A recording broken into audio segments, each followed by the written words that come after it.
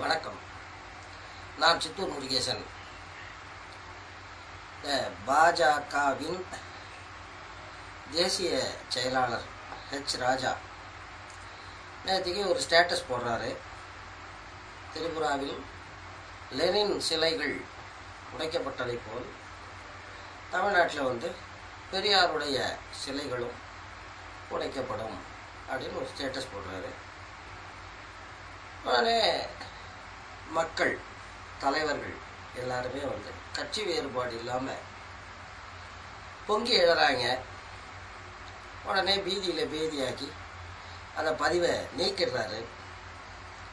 தில்லியில் போய் உக்காந்துக்கிட்டு என்னுடைய அட்மின் அந்த பதிவை போட்டார் அப்படின்னு ஜகா வாங்குறாரு. இது நடந்தது. இதில் திருப்பூரில் பெரியார் சிலையை ஒரு பக்கி சேதப்படுத்துது. அந்த பக்கியம் யாருன்னா நம்ம ஜாதி பக்கி தான். அதாவது அவளுடைய ப்ளஸ் பாயிண்ட்டே என்னடான்னா நம்ம விரலை எடுத்து எடுத்து நம்ம கண்ணை குத்த வைப்பான்.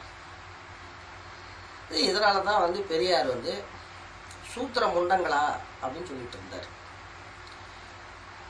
ஹெச்ராஜா ஹெச்ராஜா பதவி போட்டார் நீக்கிட்டாரு.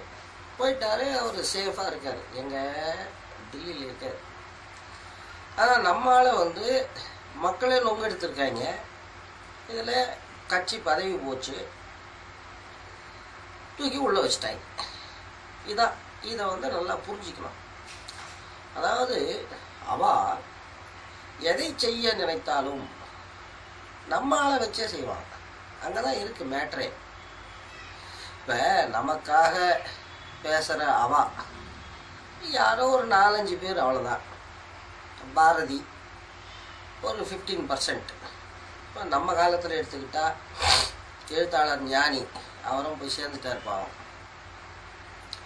இந்த எச்சத்தனம் பண்ணுறவனை கூட மன்னிச்சிடலாம். ஆனால் அவனே தான் பண்ணது எச்சத்தனம். அப்படின்னு தெரிஞ்சு பேக் டு தி பெவிலியன் போன பிறகும் ஒரு பக்கி வந்து அதுக்கு வக்காலத்து வாங்குதுன்னு வைங்க. அந்த பக்கியை என்ன பண்ணணும்? நேற்றுக்கு ஏதோ ஒரு விவாத நிகழ்ச்சியில் என்னமோ பேர் அது. கொக்கோ கோலா சீனிவாசா கோலாகல சீனிவாசா? அவர் வந்து சொல்கிறார் என்னடா சொல்கிறாருன்னா பெரியாரை பற்றிய விமர்சனபூர்வமான ஒரு வாதத்தை துவங்கி வைக்கத்தான் எச்சராஜா வந்து அந்த மாதிரி எச்ச பதிவை போட்டாராம்.